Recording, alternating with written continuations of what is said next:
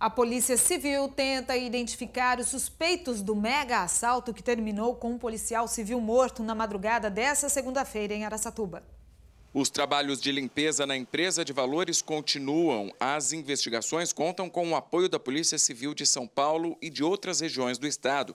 A polícia acredita que a quadrilha estaria há cerca de um mês em Aracatuba, planejando o assalto. Uma ação como essa, tão complexa, com tantos, tantos detalhes que eles fizeram, não se planeja de uma hora para outra. Eles estudaram o local, eles é, estudaram as rotas de fuga, da onde poderia vir é, a polícia, porque eles bloquearam vários pontos, é, bloquearam a saída do, do CPI, né? É, bloquearam a, a, os acessos todos aonde fica protege.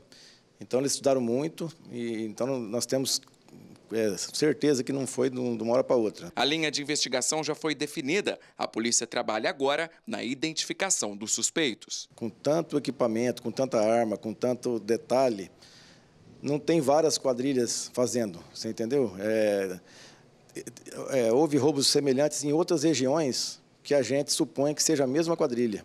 Por isso que é importante essa troca de informações, para a gente, aos pouquinhos, ir identificando essas pessoas. Tornou-se para nós uma questão de honra, inclusive, com a morte do, do policial civil. E nós vamos dar o máximo, né? É né, uma coisa muito grave, inclusive uma, um, um roubo grave que abalou a cidade.